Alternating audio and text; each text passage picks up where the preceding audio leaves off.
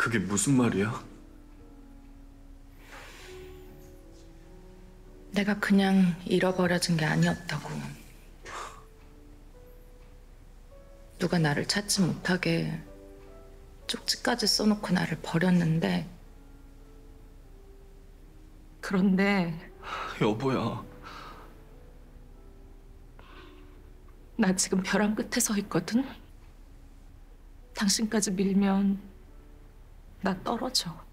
왜 말 안 했어? 나한테 말을 하지. 몇 번이나 얘기하려고 그랬어. 근데 당신 나한테 관심 없었잖아. 내 얘기 들으려고도 안 했잖아. 미안해. 그런 얘기 들으려고 만나자고 그런 거 아니야.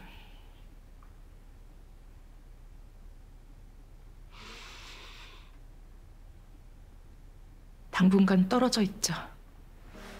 여보, 그게 무슨 소리야? 내가 잘할게, 여보. 어? 내가 잘할게. 나 한 번만 용서해줘. 이번만 용서해주면 나 진짜 뒤도 옆도 안 돌아보고 여보만 보고 살게. 진짜야. 나 너무 힘들어. 당신 보는 게 정말 너무너무 힘들어.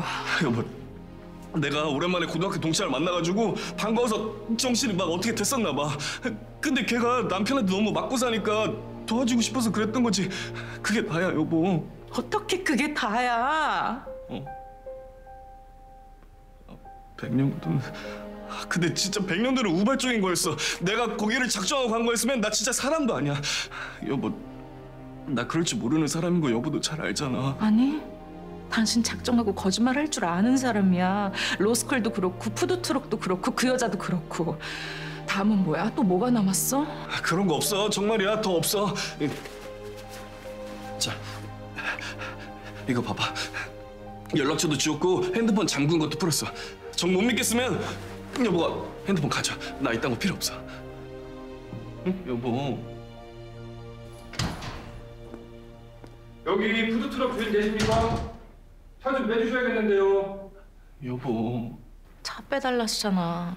여보. 푸드트럭 차주분 안 계세요? 네, 빼드릴게요.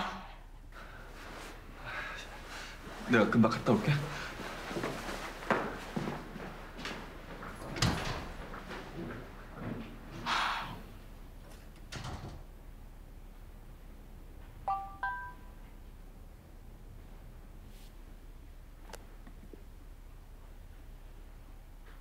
박완승님, 1월 31일 목요일 오후 7시 정관 보건수술 예약되어 있습니다.